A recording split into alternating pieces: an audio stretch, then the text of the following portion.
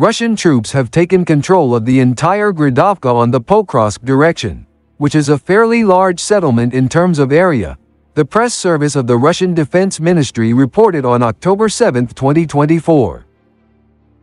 This section of the front in the Donetsk region is the area of responsibility of the center group of forces, and due to their decisive actions, the offensive of the Kiev troops was repulsed, even amidst the loud noise of Zelensky's victory plan together with Western partners.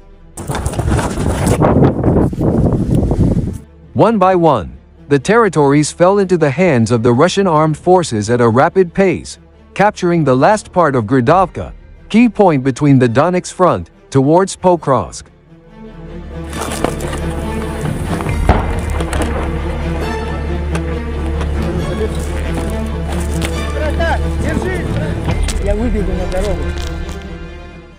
During the day, the Russian assault forces advanced, capturing the last part of the Grodovka area still under Ukrainian control, and cleared it. They stormed the Ukrainian fortifications defended it with machine guns, firing at the Russians with heavy machine guns during fierce fighting. The Ukrainians also made 10 counterattack attempts, which were defended by about 200 soldiers remaining in the settlement, but all enemy attacks were repulsed. In a day, fighters of the Russian group inflicted damage on several enemy motorized infantry and paratrooper brigades, Losses in manpower amounted to hundreds of soldiers killed and wounded. Russian fighters also destroyed various Ukrainian NATO equipment, including the last armored vehicle in Grodovka, the American Bradley.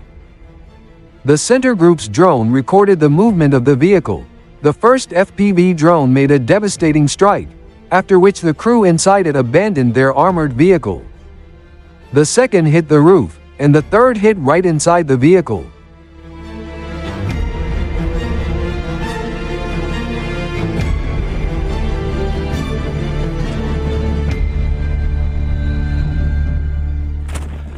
The success of the fiery actions of the Russian military was noted not only in the Grodovka sector of the front, but also in almost all other sectors.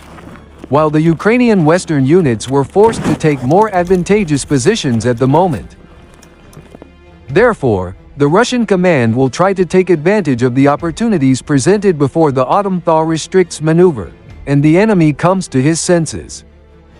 Generally, these prerequisites are strong enough to indicate that the Russian military is on the verge of a major breakthrough, and attempts to launch a new offensive are underway. This month is expected to be hot.